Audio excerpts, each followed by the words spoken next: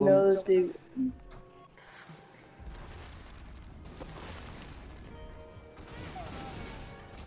Oh gosh, I'm having an episode. Not the breathe.